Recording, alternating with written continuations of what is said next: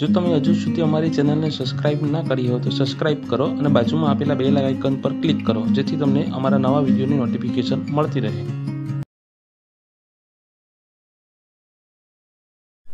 વિદ્યાર્થી મિત્રો, આજનો આપણો ટોપિક છે લાંબા સોલેનોઇડને લીધે અન્યોન્ય પ્રેરકત્વ શોધો કે સમઅક્ષીય રીતે બે સોલેનોઇડ મૂકેલા હોય સમઅક્ષીય એટલે બંનેની અક્ષ એકબીજા પર સંપાત થતી હોય. એક જ અક્ષ પર.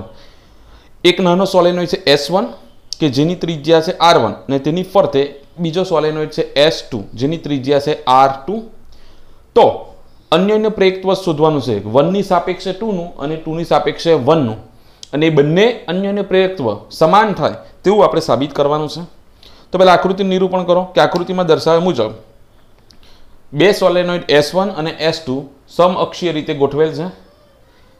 એસ વન સોલેનોઇડની ત્રિજ્યા આર વન અને તેમાં એકમ લંબાઈ દીઠ આંટાની સંખ્યા એન વન છે. એસ ટુ સોલેનોઇડની ત્રિજ્યા આર ટુ અને તેમાં એકમ લંબાઈ દીઠ આંટાની સંખ્યા એન ટુ છે અને બંને સોલેનોઇડની લંબાઈ એલ જેટલી છે. ક્લિયર હવે એકમ લંબાઈ દીઠ આંટાની સંખ્યા સ્મોલ એન બરાબર તો શું થાય? કુલ આંટાના છેદમાં કુલ લંબાઈ થાય. એના પરથી કુલ આંટા એનને કરતા બનાવો તો શું થાય? સ્મોલ એન ઇન્ટુ એલ તો એસ વનના કુલ આટા, કુલ આંટાની સંખ્યા, એ કેટલી થશે? N one is equal to શું થાય? Small N one into L L તો બંનેના સમાન છે. તે જ રીતે એસ ટુના કુલ આટાની સંખ્યા N two is equal to small N two into L હવે આપણે શું કરવાનું છે? કે કોઈ પણ એક સોલેનોઇડમાંથી વિદ્યુત પ્રવાહ વહે, તો એ ચુંબક તરીકે વર્તે ને તેના ચુંબકની ચુંબકીય ક્ષેત્ર રેખા બીજા સોલેનોઇડ સાથે સંકળાય. ધારો કે એસ ટુમાંથી હું આઈ ટુ જેટલો પ્રવાહ પસાર કરું છું એસ ટુમાંથી આઈ ટુ પ્રવાહ પસાર કરતા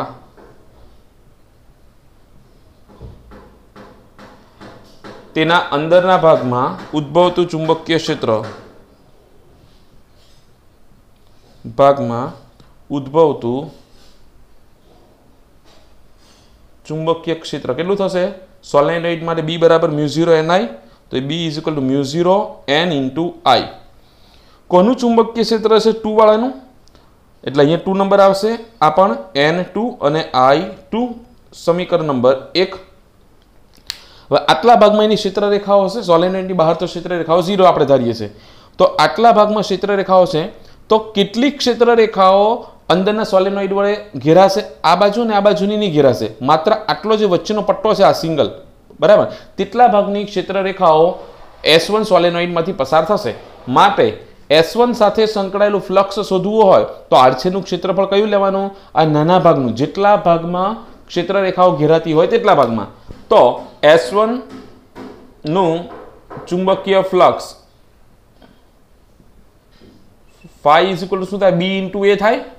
વન વાળાનું ફ્લક્સ એટલે ફાઈ વન ચુંબકીય ક્ષેત્ર કોનો ઉત્પન્ન કરે છે? ટુ વાળો. અને કેટલા ભાગમાં ક્ષેત્ર રેખાઓ ઘેરાય છે? એ વન આડછેદ જેટલા ભાગમાં. એટલે શું આવશે? એ વન પરંતુ નળાકાર છે તો તેના આડછેદનું ક્ષેત્રફળ શું થાય? વર્તુળાકાર. એટલે કે પાઈ આર સ્ક્વેર થાય તો ઇઝ ઇક્વલ ટુ શું થશે? B two into pi R square પણ આર વન એ વન છે ને? આ થઈ ગયું. હવે આપણે શું શોધવાનું છે? આનું હું સમીકરણ નંબર બે આપી દઉં. મારે શોધવાનું છે ચુંબ પેલો, અન્યોન્ય પ્રેરકત્વ? તો, કોનું અન્યન્ય પ્રેરકત્વ શોધવાનું છે? વનનું. કોની સાપેક્ષે? ટુની સાપેક્ષે. કેમ કે અન્યોન્ય પ્રેરકત્વ કોનું આવે? જેની સાથે ફ્લક્સ સંકળાય તેનું. તો, એસ વનનું, એસ ટુની સાપેક્ષે અન્યોન્ય પ્રેરકત્વ. તો એમ, કોનું? વનનું. કોની સાપેક્ષે? ટુની. એટલે એમ વન ટુ આવે. તો એમનું સૂત્ર શું તો એન બરાબર એન ફાઈ બાય આઈ સૂત્ર હતું. પહેલાં વન છે તો ઉપર વન વન નંબર આપવાનો, પછી ટુ છે તો નીચે ટુ અથવા એ પણ ખબર પડે કે ભાઈ પ્રવાહ ટુમાં જ પસાર થાય છે, એટલે નીચે જ આવશે. કિંમત મૂકું. ચલો એન વનની કિંમત કેટલી? Small N one into L phi વનની કિંમત. B two pi R one square અને આ પ્રવાહ કેટલા છે આઈ ટુ હવે બીની પણ કિંમત મૂકવી પડશે. માટે M one two is equal to N one L B ટુની કિંમત mu zero N two I two પછી pi R one square upon I two I two I two cancel માટે M one two is equal હવે વ્યવસ્થિત ગોઠવું. Mu zero N one N two mu zero લઈ લીધા N one N two પછી L અને pi R one square સમીકરણ નંબર ત્રણ. તો આ આવી ગયું. એસ વનનું એસ ટુની સાપેક્ષે અન્યન્ય પ્રેરકત્વ. હવે શું કરું? રિવર્સ કરું. કે એસ ટુમાંથી પ્રવાહ પસાર કરેલો, એની જગ્યાએ હું શું કરું? એસ વનમાંથી પ્રવાહ પસાર કરું.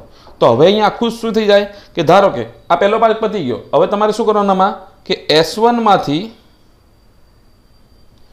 આઈ વન જેટલો પ્રવાહ પસાર કરતા તેના અંદરના ભાગમાં ઉદ્ભવતું ચુંબક એટલે બધામાં વન થઈ જશે તો અહીંયા વન અહીંયા પણ વન ને અહીંયા પણ વન ના થઈ જશે આપણું સમીકરણ ત્રણ તો આપી દીધા, પછી આ ચાર. આટલું કરવાનું.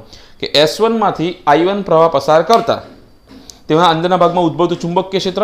હવે આ ચુંબકીય ક્ષેત્ર કેટલા ભાગમાં છે? આટલા પટ્ટામાં જ છે. અહીંયા અને અહીંયા ચુંબકીય ક્ષેત્ર નથી. તો હવે ચુંબકીય ક્ષેત્ર કોણ ઉત્પન્ન કરે છે વનવાળો તો ફ્લક્સ કોની સાથે સંકળાય? ટુ સાથે. તો એસનું ચુંબકીય flux is equal to phi two phi બરાબર શું થાય? બી ઇન્ટુ એ તો બી કયા લેવાના ને એ કયા લેવાના? તો બી ચુંબકીય ક્ષેત્ર કોણ ઉત્પન્ન કરશે? વન વાળો? એટલે અહીંયા વન આવશે. હવે અહીંયા ખાસ આગળ શું હતું કે ભાઈ ચુંબકીય ક્ષેત્ર બી લીધેલું અને ક્ષેત્રફળ એ વન લીધેલું. પણ અહીંયા શું થશે? કે ચુંબકીય ક્ષેત્ર રેખાઓ આટલા ભાગમાં જ છે. તો જે ચુંબકીય ફ્લક્સમાં ક્ષેત્રફળ લેવું પડશે તે આ મોટાનું ક્ષેત્રફળ એટલું લેવાનું નથી. એ વન જ લેવાનું. કેમ? કેમ કે આટલું મોટું ક્ષેત્રફળ છે, પણ માત્ર વચ્ચેના ભાગમાં જ ક્ષેત્ર રેખાઓ છે ને? એટલે જેટલા ભાગમાં ક્ષેત્ર રેખાઓ તેટલા ભાગનું ક્ષેત્રફળ લેવું પડે. એટલે અહીંયા પણ શું આવે? એ વન આવશે. એટલે અહીંયા શું થશે? બી વન તો phi two is equal B one A one આટલું થયું? પછી હવે કોનું ક્ષેત્ર શોધવાનું છે? એસ ટુનું તો એસ ટુનું એસ વનની સાપેક્ષે ચુંબક અન્યોન્ય પ્રેરકત્વ ચાલો હવે કરીએ.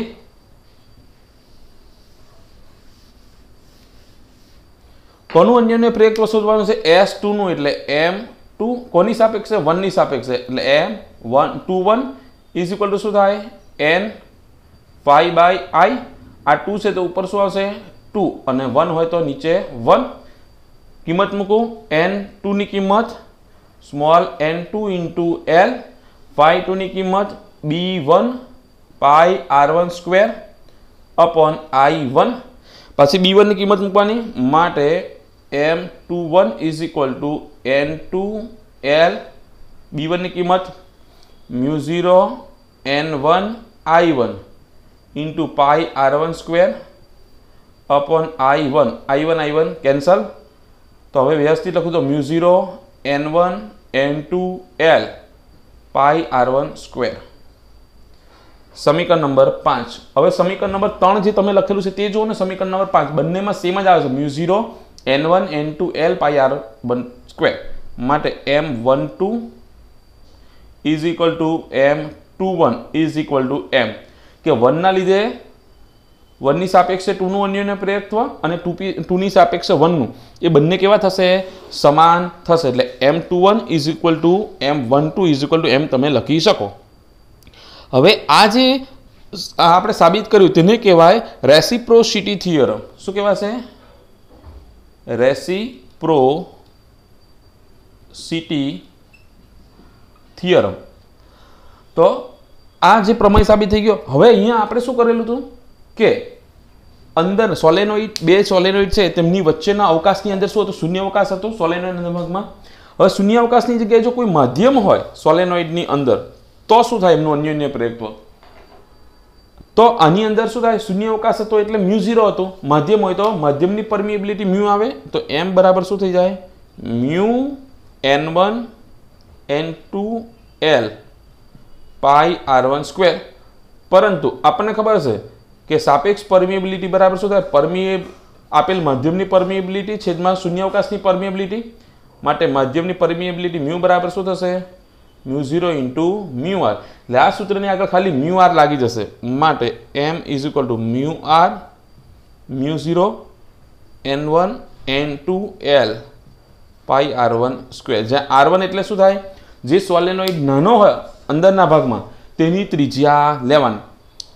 ખ્યાલ આવી ગયો? તો આ થઈ ગયો લાંબા સોલેનોઇડનું અન્યોન્ય પ્રેરકત્વ. નેક્સ્ટ લેક્ચરની અંદર હવે આપણે અહીંના દાખલા જોઈશું.